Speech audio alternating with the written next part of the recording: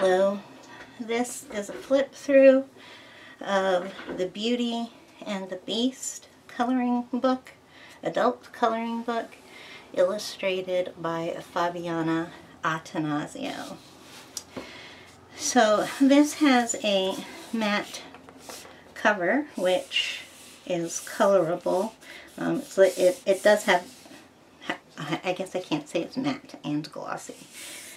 It's very smooth, so you're going to have to use alcohol markers.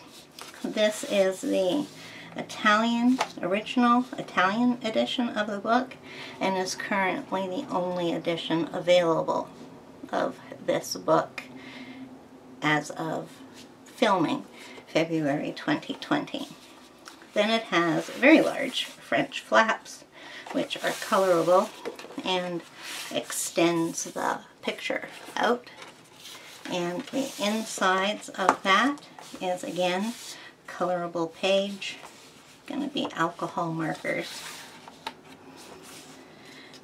So this edition is published by White Star Kids and is a traditionally published, I wonder if I can open it here. I was going to get the spine flat, but later. So we start off with the copyright page and the title page, and that is fully colorable. Well, then along comes a short adaptation of the original tale. And of course, since this is Italian edition, it's written in Italian. And the coloring starts right away with a full page. And we have little elements to color on the text pages. So I believe there's six pages of that. Yeah, it's always the same. And then the book is like a storybook. And it takes us through the story chronologically. And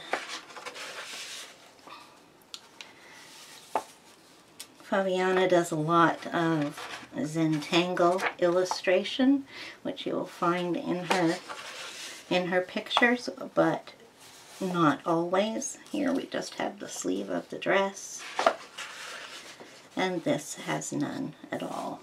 Neither does this. So there are many different kinds of pictures in these books. There are double spreads, and there are a lot of double spreads in her books. And of course there are single page ones as well that were in a bit of double pages We have black backgrounds and white backgrounds. We have pattern pages. We have scenic pages. We have single object pages. And every one of her books includes one of these where there is um, silhouette of the person surrounded by uh, Zentangle.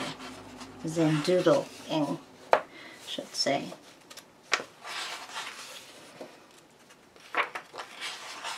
Which is wonderful illustration. The book is not lying flat because I haven't broken the spine in, which you saw me attempt to do at the beginning, but decided not to. So these books do have a sewn binding, so you can get them to lie flat. There are many um, wreaths in her books as well. This is the only time we'll see a frame, as uh, occasionally she'll frame an image and have the frame be included as part of the picture.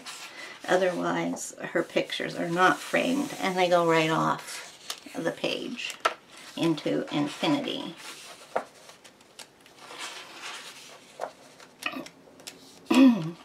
Paper is bright white and the ink is black. Many of her illustrations contain some solid black parts within it here we have this and this as you saw not all of them have the black within it. And well all her books have some of the same elements. They're all very different.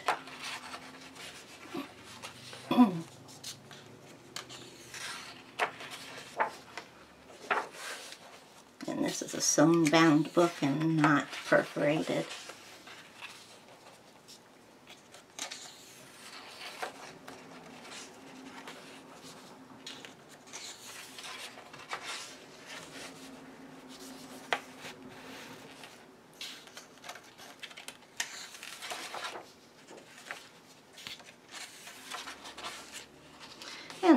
The book ends as it begun.